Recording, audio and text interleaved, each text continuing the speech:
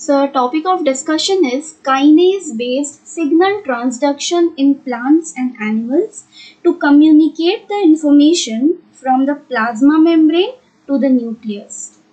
Right?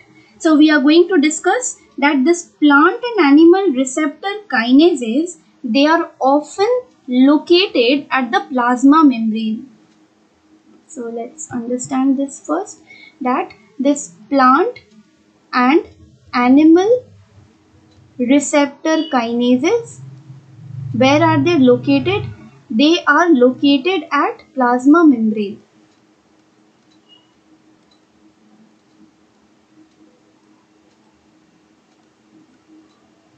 Okay?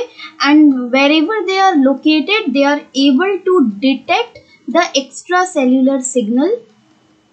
They are able to detect the extracellular signal. So they are so well positioned that they are able to detect this extracellular signal. They bind to the signal molecules. After detecting they bind to signal molecules. Okay? These signaling molecules after they bind to the receptor towards the extracellular phase they trigger the intracellular response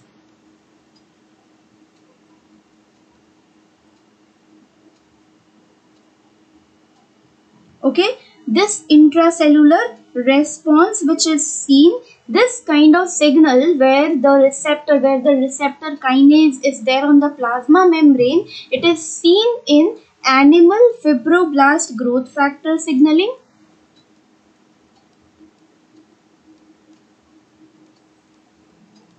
And in plants it is seen in brassinosteroid pathway right here. Plant brassinosteroid pathway.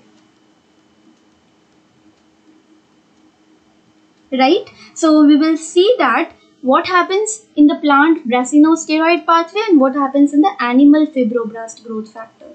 Let's see. So first of all whenever the ligand it is binding to the receptor there will be autophosphorylation of the receptor.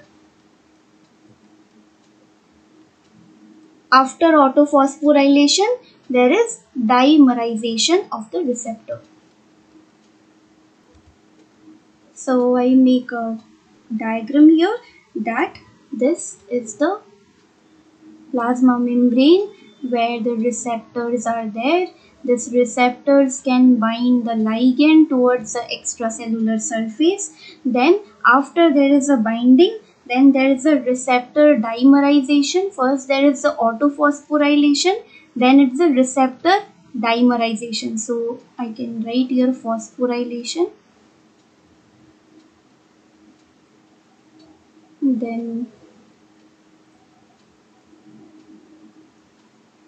then what autophosphorylation. So here ATP is required to phosphorylate after which what we see that there will be the activation of several kinase like RAF, then MEK, then MAPK. After that this will be moving inside the nucleus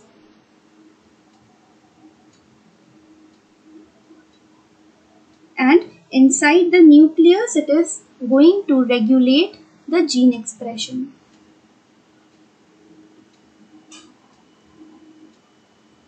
Right, it is going to sit on the specific sequence and it is regulating the gene expression.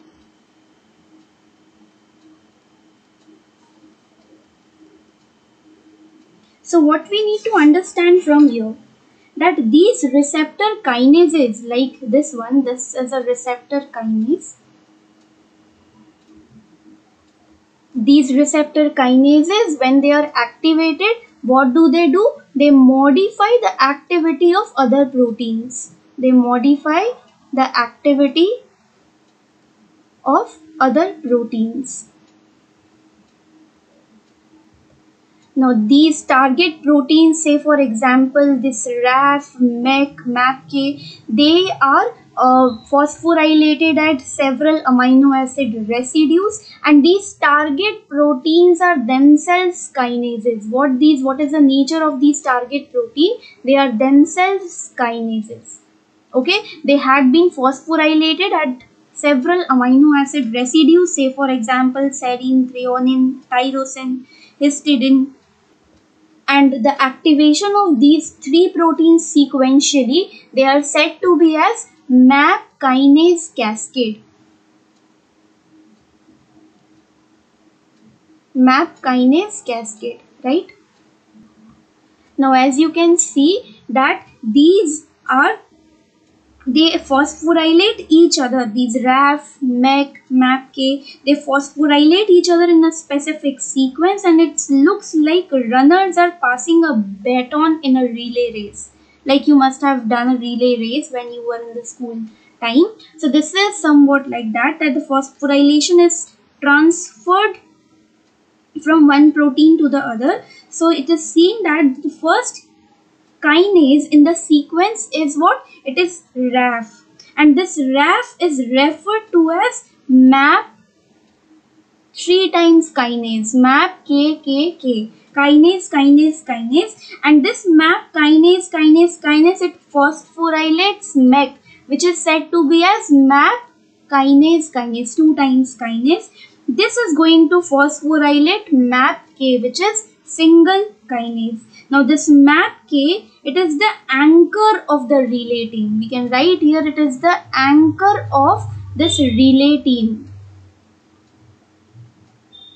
and what it is doing it is entering inside the nucleus where it is going to activate some other protein kinases okay it is going to activate some other protein kinase and some transcription factors also right it is going to activate some other protein kinase and transcription factors inside the nucleus example of these MAP kinase is also seen in plants, right? In animals, it's fibroblast growth factor. It is also seen in plants, right? Where we have seen in this plant defense responses, the MAP kinase pathway we have seen. If you have not seen, you can go through that video. Now, why this is happening? Like, why this kind of this relay race is happening? Okay, so this is because this phosphorylated protein is amplifying the response. The small ligand molecule is able to see, is able to cause such a large response. So in response to few ligand molecules, tens or thousands of the protein's activity can be modified by this way, by the kinase activation.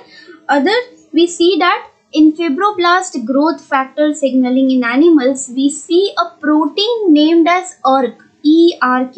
A protein named as ERK. This is the protein which moves inside the nucleus and it phosphorylates several transcription factors. Okay, this is, moves inside the nucleus and it phosphorylates several transcription factors. Say for example, ET okay and these transcription factor regulate the downstream gene expression this was about the fibroblast growth factor signaling in animals. In the next video we are going to discuss about steroid signaling pathway. Thank you